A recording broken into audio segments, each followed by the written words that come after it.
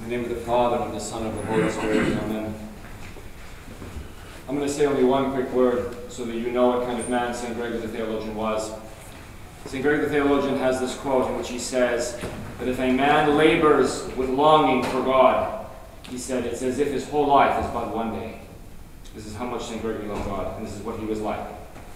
And so he toiled with such intensity throughout his life, not necessarily in vicious asceticism, because he was a very intellectual man. St. Basil was very hard, and St. Gregory was perhaps a little bit more temperamental, a little bit more sensitive.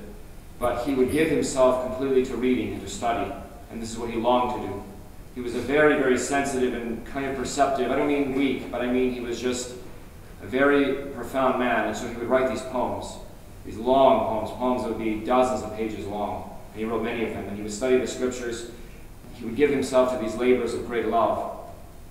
But he was a man of intensity and of tremendous love of God. And he is only one of the three that have ever been called theologian. We only call three men theologians. That's John the Apostle, who wrote the Apocalypse and the Gospel and the three epistles. We call Simeon the new theologian, which was originally not a good term, but it was given to him.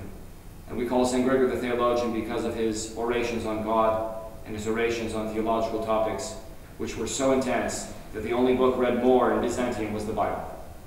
So St. Gregory was a man of tremendous power, tremendous learning. May we have his blessing, and may we also labor so that our entire life is but one day according to our love of God. Amen.